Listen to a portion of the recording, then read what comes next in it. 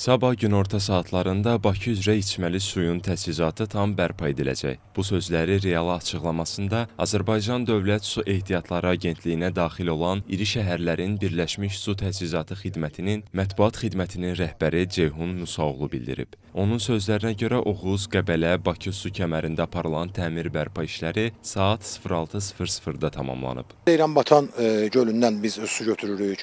Sonra e, Kür xətti deyilən bir xətt var, ondan bir su götürürük və bütövlükdə hansı ki xəttlərin üzərində təmir tikinti işləri aparılmırdı, onların e, onlardan götürülmüş suyun hesabına digər ərazilərdə su ilə təmin etməyə çalışırdıq. Təbii ki, bu o qədər də belə deyək, asan başa gələn və e, 100%li suyun təminatına nail olması mümkün olan məsələ deyil. Yəni çünki təsəvvür eləyin, başqa ərazilərə qrafiklə su gəlir və biz məcbur oluruq ki, həmin qrafikdə dəyişiklik eləyək ki, digər su təchizatından belə deyək, müvəqqəti olaraq fasilə yaranan ərazilərə yönləndirək.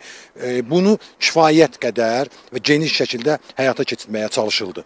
Bildiyiniz kimi bir daha təkrar edirik ki, çox ə, ə, uzunluğu, yəni o qədər uzun olan, böyük olan və su kəmərindən söhbət gedir. O da Bakının əksər ərazilərini su ilə təmin edir ki, o rayonlar barəsində də biz məlumat vermişdik. Hal-hazırda dediyimiz kimi tamamlanma işləri başa çatıb. Xatırladaq ki, avqustun 12-si gecə saatlarından başlayaraq Oğuz, Qəbələ, Bakı su kəmərində əsaslı təmir bərpa işləri aparılır. Təmir bərpa işləri nəticəsində Yasamal, Səbail, Nəsimi, Binəqədi, Sabunçu, Xəzər, Suraxanı, Ramanı, Pirallahı rayonlarında suyun verilməsi rejimində dəyişiklik edilib. Əhalinin digər mənbələr hesabına su ilə təmin olunması istiqamətində işlər görülüb.